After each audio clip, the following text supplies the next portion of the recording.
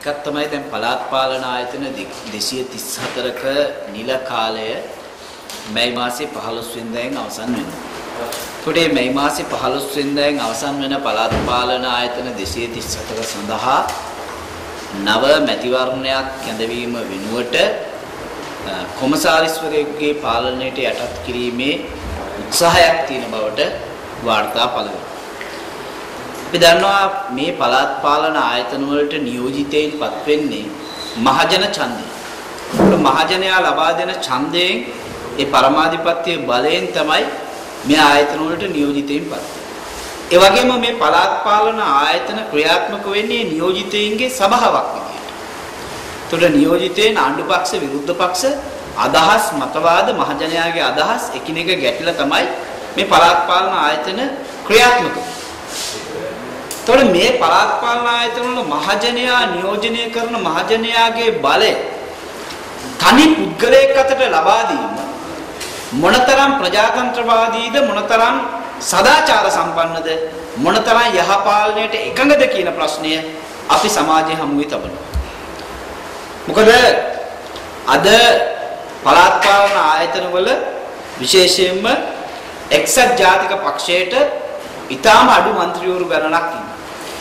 පළාත් පාලන ආයතන වල 3000කට අධික മന്ത്രിවරුන්ගේ 2000කට අධික മന്ത്രിවරු පිරිසක් නියෝජනය කරන්නේ එක්සත් ජනතා නිදහස් සන්ධානය ඇතුළු ප්‍රගතිශීලී බලවේග.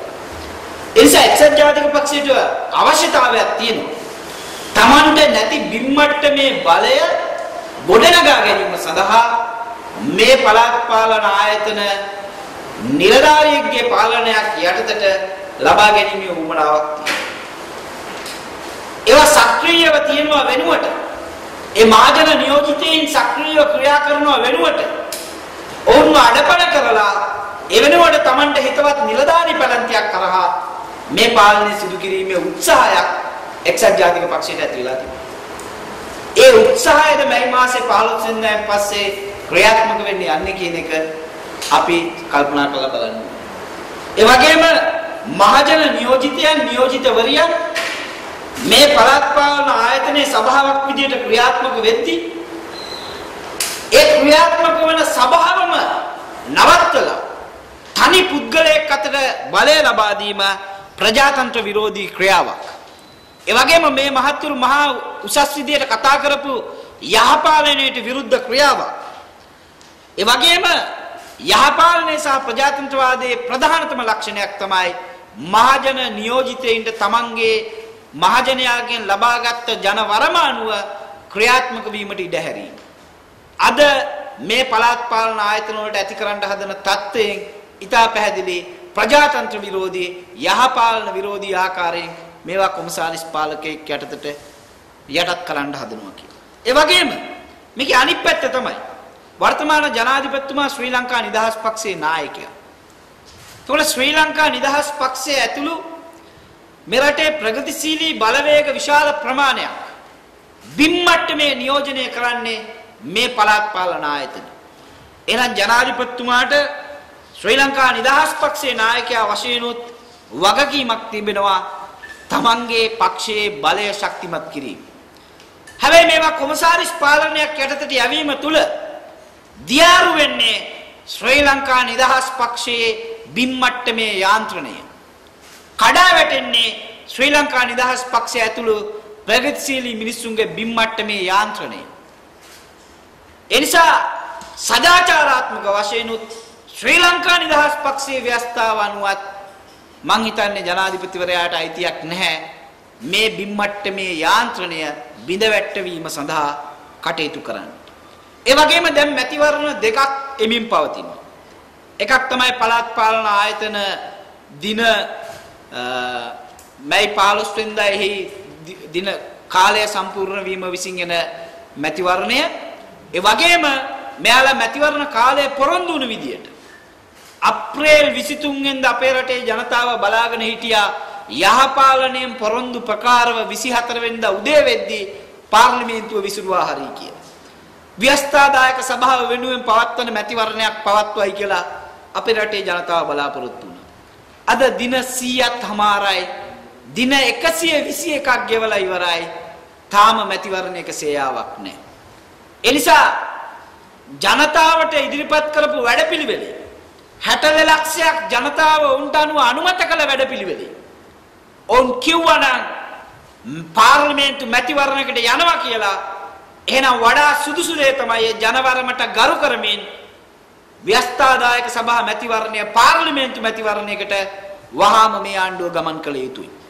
එතෙක් මේ පළාත් පාලන ආයතන කාලය දීර්ඝ කිරීම තමයි අනිවාර්යයෙන්ම කළ යුත්තේ. මොකද මහජනයාගේ බලය තනි පාලකයෙක් අතට තනි නිලධාරියෙක් අතටපත් කිරීම සදාචාර සම්පන්න ඒ වගේම යහපාලනයටත් ගැළපෙන්නේ නැති දෙයක්. ඒ නිසා අපි විශ්වාස කරනවා පාර්ලිමේන්තු මැතිවරණය ඊටම ඉක්මනින් කැඳවීම සඳහා මේ ආණ්ඩුව කටයුතු කරයි කියලා.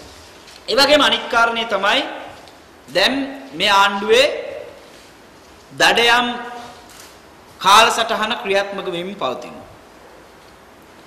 ආණ්ඩුව බලයට පත් වෙද්දිම මීළඟ මැතිවරණය ඉලක්ක කරගනිමින් දින 100 වැඩපිළිවෙලක් දියත් කළා. ඒ දින 100 වැඩපිළිවෙල ඇතුලේ 9 වෙනිදා පටන් ගද්දිම එතෙන් සිට 10 වෙනිදා සිට මහින්ද රාජපක්ෂ මහත්මයාත් මෙරටේ දේශප්‍රේමී ජාතිකවාදී නායකයනුත් ප්‍රහාරයන් අවලාද එල්ල කරලා ඔවුන්ව බිම වට්ටන්න සූදානම් කරේ. අපි දැක්කා මොන තරම් මඩ තොගයක් එල්ල කරාද මොන තරම් අවලාද තොගයක් එල්ල කරාද කියලා. නමුත් මේ රටේ මිනිස්සු එක පිළිගත්තේ නැහැ.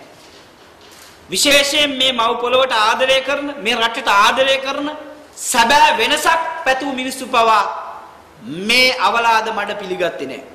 ඒ නිසා ඔවුන්ගේ දිනසියේ සැලැස්ම තිබුණේ ජනවාරි 9 වෙනිදා ජයග්‍රහණය කිරීමෙන් පස්සේ අප්‍රේල් 23 වෙනිදා වෙන විට සම්පූර්ණ විරුද්ධ පක්ෂය අතුගාලා දාලා තනි සටනක් කිසිදු සටනකින් තොර ජයග්‍රහණයක් අග්‍රාමාත්‍ය වික්‍රමසිංහ මහත්මයා ලබා ගැනීමේ බලාපොරොත්තුවෙන් තමයි ඔවුන් මහමැතිවරණයක් ඇඳවන්නේ හිටියේ. හැබැයි පෙබරවාරි 18 වෙනිදා සිදු වුණු නුගේගොඩ මහා දැවැන්ත නැගිටීමෙන් මුළු මහත් සමාජයේම දැවැන්ත අවදිවීමක් කළා. අද වන විට Tamanට පාර්ලිමේන්තුව විසිරුව ගන්න බැරි තත්ත්වයට ආණ්ඩුව ඇද වැටිලා ඉවරයි. මේ ඇද වැටීම් හමුවේ දිනසි අසාර්ථක දිනසියෙන් පසු මර්ධනකාරීත්වයේ අසාර්ථක වීමෙන් පස්සේ දැන් ආණ්ඩුව දේශපාලන දඩයම පටන් අරගෙන තිබෙනවා. අපිට මතකයි 2002 පළාත් පාලන මැතිවරණය. ඒ පළාත් පාලන මැතිවරණයේ වික්‍රමසිංහ මහත්තයා කරපු දේ තමයි ශ්‍රී ලංකා නිදහස් පක්ෂයේ බිම්මට්ටමේ ඡන්ද තියෙන මහජන නියෝජිතයින් විශාල ප්‍රමාණයක් සිරගත කළා. 300කට අධික ප්‍රමාණයක් 2002 පළාත් පාලන ඡන්දෙට කලින් සිරගත කළා. ඔවුන් ඡන්දේ නාම යෝජනා වලට සමහරු සිරමැදිරියේ සිට අත්සන් කළේ. එහෙම සිරගත කළා තමයි 2002 පළාත් පාලන ඡන්දය පැවැත්වුවේ. දැන් මේකේ මෙවර මහමැතිවරණයටත් උත්සාහ දරන්නේ එවැනි වටපිටාවක් නිර්මාණය කරගන්න. මහින්ද රාජපක්ෂ මැතිතුමා එක්ක මේ නැගී යන බලවේගය මර්ධනය කිරීම සඳහා දිස්ත්‍රික් මට්ටමින් ප්‍රාදේශීය මට්ටමින් නායකත්වයේ දෙන උදවිය දඩයම් කිරීම සඳහා වර්තමාන ආණ්ඩුව කටයුතු කරමින් යනවා. දැන් ඒ සඳහා පොලිස් අපරාධ මූල්‍ය කොට්ටාසයක් හදාගෙන තියෙනවා. මූල්‍ය අපරාධ කොට්ටාසය. ඒ මූල්‍ය අපරාධ කොට්ටාසයට කෙලින්ම කැබිනට් අනුකමිටුවකින් වික්‍රමසිංහ මහත්තයාගේ උපදෙස් අනුව ක්‍රියාත්මක වන මූල්‍ය අපරාධ කොට්ටාසයක් හදලා තියෙනවා. මම දැක්ක අගමැති කාර්යාලය නිවේදනයක් නිකුත් කරලා තිබෙනවා මේක පළවෙනි වතාවට කරන දෙයක් නෙවෙයි මද්ද්‍රව්‍ය කාර්යාංශය ළමාහා කාන්තා කාර්යාංශය වගේ ආයතන මීට කලිනුත් හදලා තියෙනවා හැබැයි මේ ආයතන මහජනයාට විවෘතයි. ඒ ආයතන ඍජුව කැබිනට් අනුකම්පාවකින් මෙහෙවන ආයතන නෙවෙයි. ඒ හැම ආයතනයකටම දුරකථන අංකයක් තියෙන හොට්ලයින් මේ ආයතනයේට තියෙන්නේ මේ පොලිස් මූල්‍ය අපරාධ කොට්ටාසයට තියෙන්නේ රනිල් ලයින් එක විතරයි. අනිත් ආයතන වලට හොට්ලයින් තිබ්බට මෙතන තියෙන්නේ රනිල් ලයින් එක විතරයි. වික්‍රමසිංහ මහත්තයාගේ ඊළඟ ජයග්‍රහණයට බාධාකාරී වෙන සියලු දෙනා දඩයන් කරන ලයින් එක විතරයි මේ මූල්‍ය අපරාධ කොට්ටාසයේ තියෙන්නේ.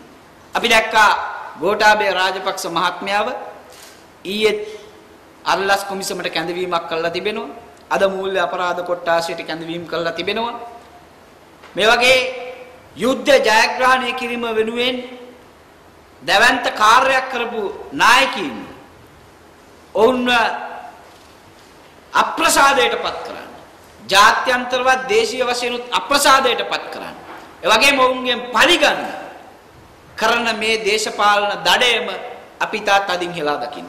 වික්‍රමසිංහ මහත්මයා තේරුම් ගත්තේ නැති දේ තමයි ඔහුට පාර්ලිමේන්තුවේ බලයක් නැහැ. පිනට අගමැතිකම ගත්තේ. ඒ වගේම ඔහුට බිමේ මහජන බලයකුත් නැහැ. සිරිසේන මහත්තයව දාලා ජයග්‍රහණය කළේ.